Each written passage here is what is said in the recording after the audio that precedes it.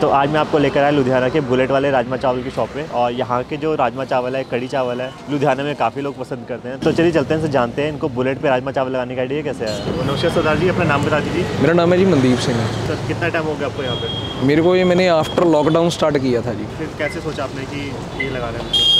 Financially tight थे। और कुछ लॉकडाउन की वजह से बिल्कुल टाइट हो गए। कारोबार तो मेरा पहले ही बंद होने की कगार पे था। मतलब उस टाइम में पैरालाइज में सफ़र कर रहा था। और लॉकडाउन के टाइम पे रिकवरी हो गई। ना पैसा बचा था, ना कोई नाम बचा था। बस फिर कुछ भी स्टार्ट करने का मन था। तो घर में बस ये फ़ूड अच्छा बनता था तो वहीं से किसी ने राय दे दी कि आप ये काम कर लो। तो सेटअप जितने भी अमाउंट नहीं थी मेरे पास तो मैंने तो वो मजबूरी में स्टार्ट किया था। पर वो आज लोग, चलो मेरी पहचान बन गई भी, बंदा बुलेट पे लगा रहा है, और उसके बाद फिर मैंने इसको चेंज भी नहीं किया। तो बुलेट पे ही रहने दिया तो लोग बुलेट पे पसंद करते हैं यहाँ पे। अब चलो पंजाब है पंजाब में एक तो बुलेट वैसे ही हॉट टॉपिक है ठीक है? दूसरा कॉलेज है मेरे दोनों तरफ़ तो बच्चे आते हैं एक बार तो मुस्कुराते हैं कि हाँ जी ये बुलेट पे लगा के बैठे हैं। एक्चुअल में जब मैंने शुरू किया तो बैकग्राउंड अच्छी थी परिवार की बैकग्राउंड भी अच्छी थी तो मेरा यहाँ से जो घर है वो कम से कम पंद्रह सोलह किलोमीटर है। तो मैंने मतलब एक तरह से यहाँ छुप के लगाया था वो पेड़ के पीछे क्योंकि शर्म थी कभी सड़क पे रोड फड़ी तो लगाई नहीं थी।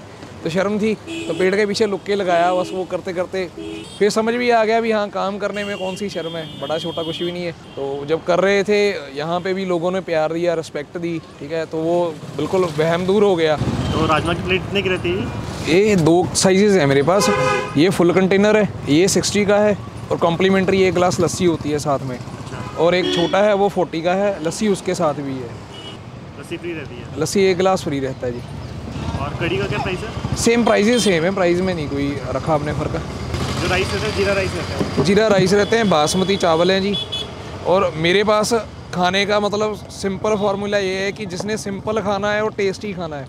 कोई मतलब ऐसा नहीं कि आप खा रहे होंगे तो आपको फील आएगा कि आप बाज़ार से खा रहे हैं। आपको वैसे ही फील आएगा कि घर से खा रहे हैं। घर का टेस्ट आएगा। दूसरा मसाला हम कोई भी डब्बी वाला इस्तेमाल नहीं करते। बाकी कोई ऐसा सीक्रेट भी नहीं है। मतलब उनकी जगह खड़े मसाले डालते हैं। भी जो डब्बी वाला दालचीनी डालनी है ठीक है तो दालचीनी खड़ी डाल लेंगे मिर्च खड़ी डाल लेंगे। तो हमारे यहाँ पे प्लेट लगने जा रही है। तो हम दोनों चीज़ें लगाएँगे यहाँ पे कड़ी भी लगाएँगे राजमा भी लगाएँगे। तो ये आ गए इनके जीरा राइस और बहुत ही सिम्स वाली है बासमती राइस इनके। तो लोग कड़ी ज़्यादा पसंद करते हैं कि राजमा चावल ज़्यादा? नहीं मेरे पास दोनों इक्वल क्वांटिटी में होती हैं और रोज़ाना ही दोनों ही ख़त्म होते हैं। अच्छा। क्योंकि मैंने ये पहले दिन नियम बनाया था कि मैं मानोगे भी इनके पकौड़े या चटनी भी है ना हम मॉर्निंग में ही करते हैं। अच्छा। अगले मतलब शाम की कोई प्रेपरेशन नहीं है यहाँ से जब जाऊँगा तो टोटल फ्री और कल को कल का माल कल को ही तैयार करेंगे सारा कुछ।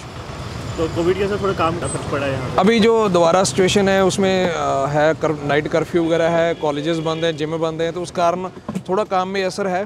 बाकी ये तो सिस्टम है जी दुनिया का दुनिया के साथ भी चलना पड़ेगा। जी ग्रीन चटनी किस चीज़ की रहती है ये? पुदीना धनिया प्याज और लस्सी होती है साथ में पानी में नहीं बनाते। अच्छा। तो हमारी यहाँ पे प्लेट लग चुकी है अब इसको जल्दी टेस्ट करते हैं और देखते हैं कैसे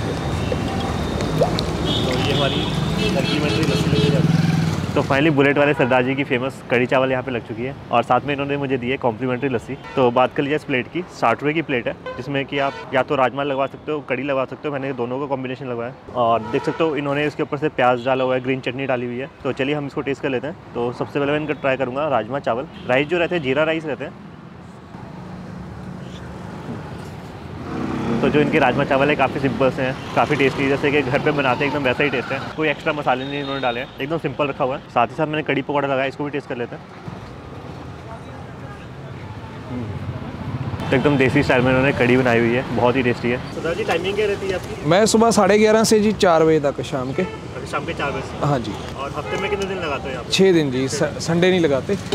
बाकी छः दिन एक दिन छुट्टी रखते हो और एड्रेस बता दीजिए किसी को यहाँ पे आना ये खालसा कॉलेज फॉर वुमेंस है उसके बिल्कुल ऑपोजिट पार्क पड़ता है उसके कॉर्नर पे ही मैं रहता हूँ। और बुलेट वाले सरदार जी बोल दोगे तो लोग पहचान जाएँगे। हाँ बुलेट वाले यहाँ इस एरिया में तो मेरे को बुलेट वाले सरदार जी से पहचानते हैं। तो अगर आप भी लुधियाना में रहते हो और बढ़िया से कड़ी चावल खाना चाहते हो तो बुलेट वाले सरदार जी के साथ इसको टेस्ट कर सकते हो। खालसा कॉलेज के एकदम सामने लगाते हैं तो बात करिए इसकी प्राइस की साठ रुपये की प्लेट है काफ़ी जेनुअन प्राइस है। साथ ही साथ आपको यहाँ पे लस्सी भी कॉम्प्लीमेंट्री मिलेगी। बाकी जगह पे आपको एक्स्ट्रा चार्जेस देने पड़ते हैं। मुझे इनका कॉन्सेप्ट काफ़ी अच्छा लगा। तो अब मैं यहाँ पे इसको जल्दी से फिनिश करता हूँ और मिलता हूँ नेक्स्ट वीडियो में।